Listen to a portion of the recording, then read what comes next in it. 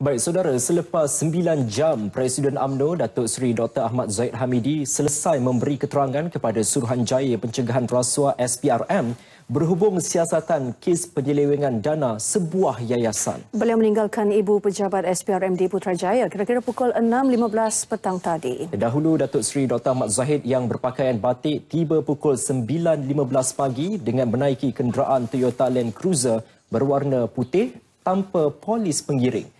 Puluhan wartawan tempatan dan antarabangsa berkumpul di perkarangan Ibu Pejabat SPRM seawal 8 pagi untuk membuat liputan kes berkenaan. Seluruh bangunan SPRM dikawal ketat pihak polis. Bekas timbalan Perdana Menteri itu dijadual menyambung keterangannya pada 9 pagi esok.